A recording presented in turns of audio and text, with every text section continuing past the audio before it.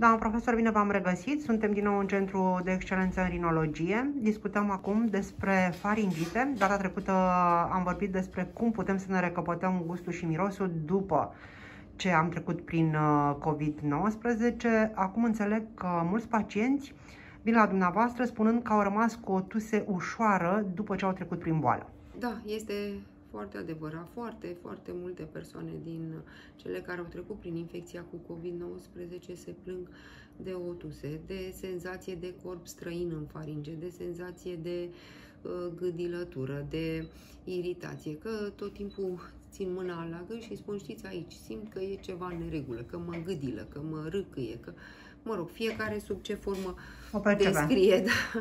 Dar uh, cert este că este un, uh, că la nivelul faringelui rămâne un disconfort, că îl, de, îl descriem sub formă de răcăitură sau, mă rog, de senzație de corp străin, asta este ceva subiectiv, dar că un disconfort rămâne după infecția cu COVID este un lucru cert, foarte frecvent se întâmplă.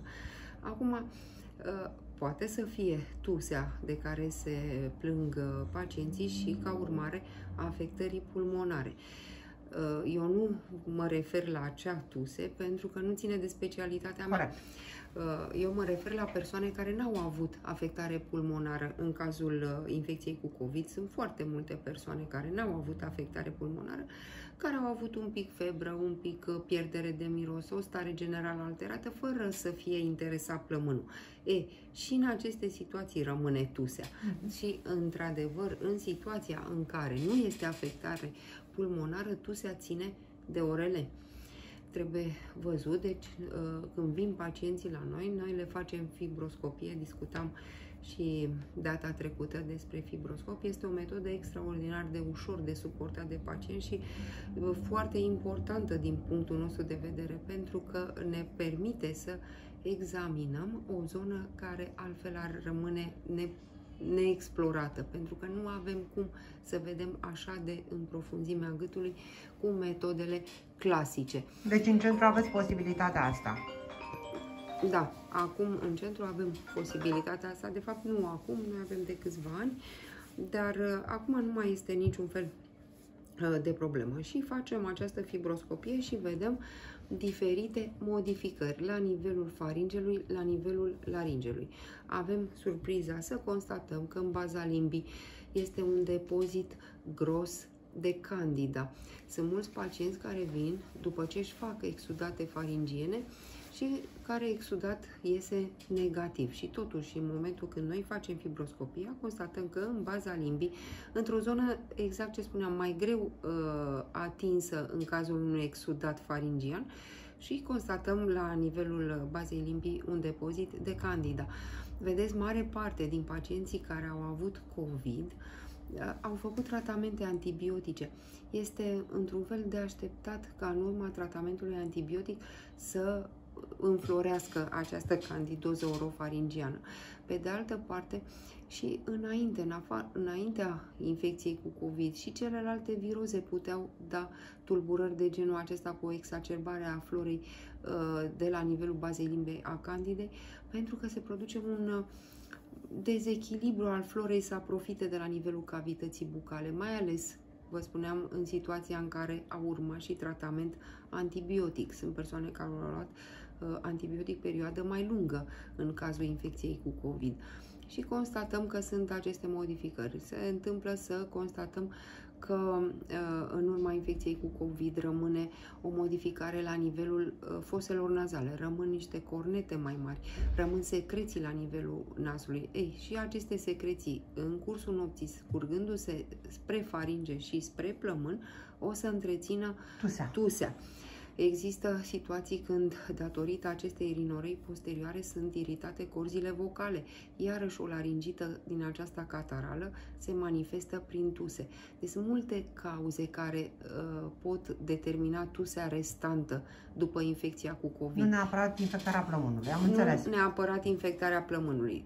Când este plămânul, deci noi dacă nu găsim nimic în sfera orele, atunci sigur că recomandăm să meargă la pneumologie pentru că e, poate să fie și altă cauză, nu numai Doamna doctor, orele. sunt mulți pacienți care reclamă faptul că um, rămân cu această rinoree, adică aceste secreții fluide, uh, gen apă în nas. Adică tot timpul spun, domnule, uh, nu, nu este o răceală, pur și simplu îmi curge apă din nas.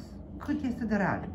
Există, da, astfel de situație. Acum uh, sunt... Poate fi o consecință a purtării măștii excesive? Poate să fie în ce sens? De obicei, uh, rinorea aceasta apoasă da? este o manifestare a rinitelor alergice. Mai degrabă. Uh, mai degrabă pe teren alergic. Din punct de vedere al sferei orele, în general, secreția este apoasă la începutul unei viroze.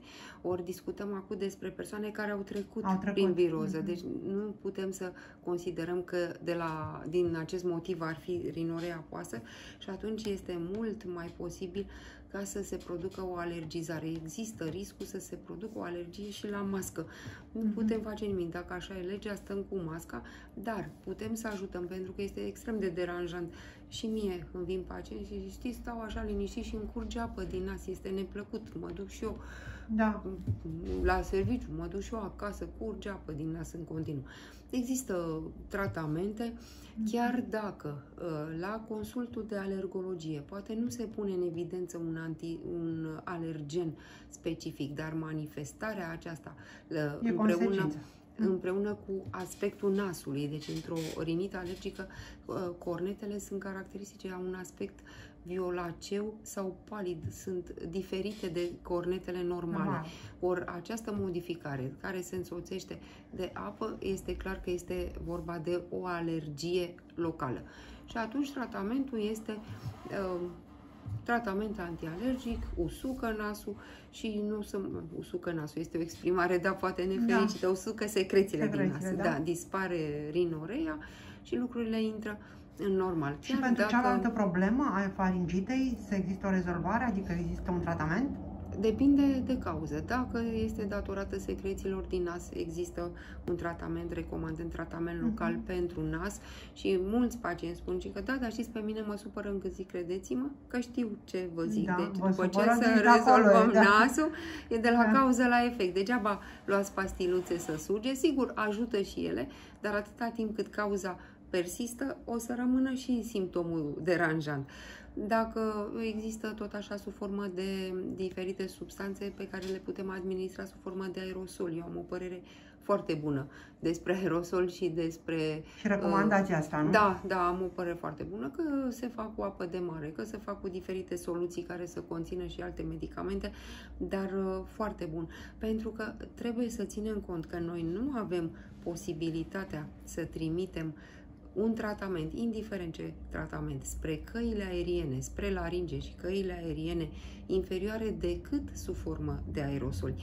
Deci faptul că există în farmacii o serie întreagă de pastile și spunea când ești răgușit, ia pastila respectivă n-are cum să reușească să rezolve răgușeala pentru că răgușeala arată o afectare pe căile aeriene, iar pastila, dacă o, o sugem, se duce pe partea pe care mâncăm, pe faringe. N-are cum să influențeze laringele. Este un nonsens. Dar, mă rog, Cel mai sunt... bine e să vină într-un centru de specialitate Acum, și... eu așa am spus tot da. timpul și mi se întâmplă să vină pacienți care spun, știți, de o lună mă tratez singur și nu reușesc. Da. Și m-am hotărât să vin la dumneavoastră. Cel mai bine este să ajung de la în început. centru de rinologie.